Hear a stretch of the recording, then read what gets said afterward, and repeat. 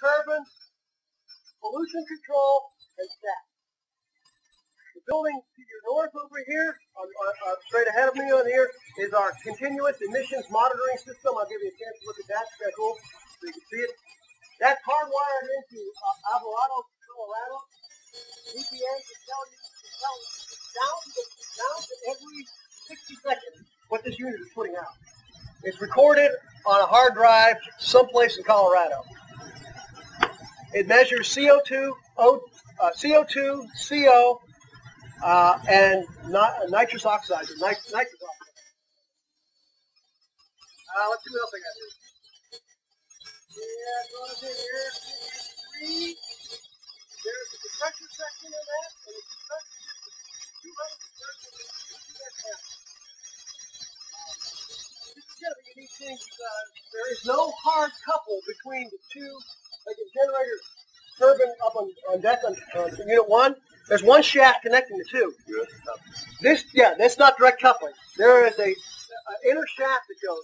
This one turns at 58, yeah, 58 uh, gener, uh, GPM, 58 RPMs, and in the inside will it'll, it will generate, or the uh, it's called concentric shaft.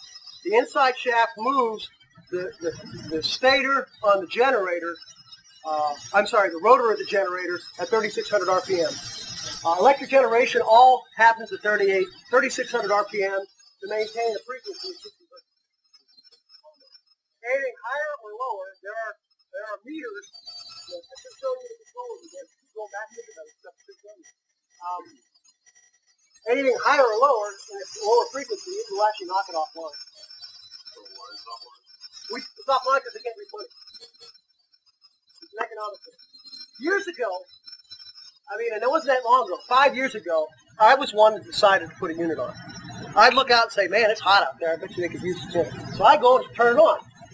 And then there are some power failures up in the Northeast. I think you heard about that. Where, like New York was out for a while. Oh, and yeah, yeah, Ohio was out for a while. And did you know Texas has its own power grid? Yeah.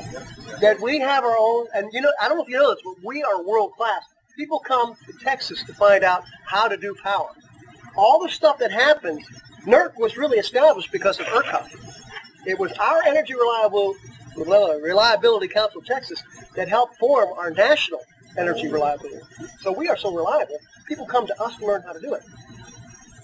Because of that, they decided an entity like NERC or ERCOT uh, is going to decide and monitor the grid to make sure power, and then they will tell people. So they used to call me up and say, "Hey, we need a unit six on at Atkins, and we need this on it." So I put it on.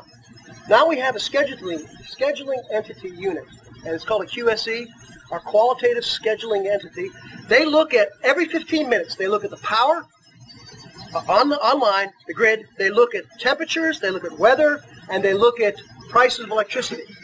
And if a unit goes off in Denton, or a unit, a new unit goes off in, in South Texas, if it goes down, prices go up.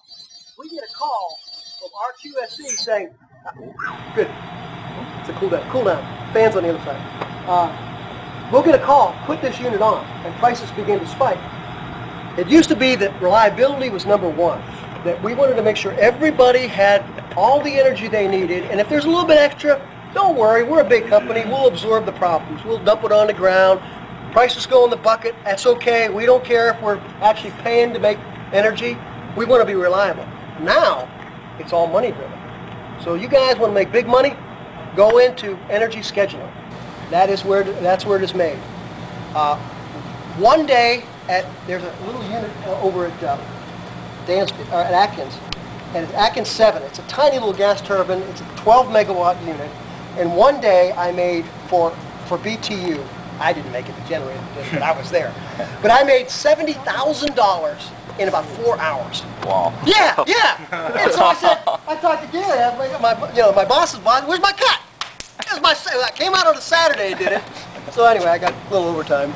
But the idea is that when there's needs for power, you can jump on it. And people, man, let me show you, let me show you this SCR over here. You see behind you, if you look at it, the SCR. This is this. And Larry knows all about this, don't you, Larry? this whole thing, all the way through is packed, solid with these tiles. You can touch them. They're nothing more than just ceramic tile. It's just packed solid all the way through, and you see there's holes through them. What happens is we shoot demineralized water into there, and we shoot that demineralized water. It actually absorbs like a catalytic converter in your car. You know about a cat in your car? It absorbs any nitrous oxides, o, uh, COs, o, uh, CO2s. It absorbs all that in that catalyst.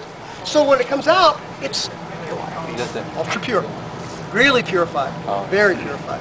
But that's the catalyst that they actually use. That's a ceramic catalyst. I think the new stuff they have in is more of a fiber. It's more of a uh, fiberglass, isn't it?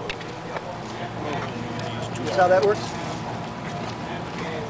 So, let me show you the sim, CEMS because I think is it. Plus, no one else sees. Those guys. They won't see- they won't see it. Come on in, face in, come on in.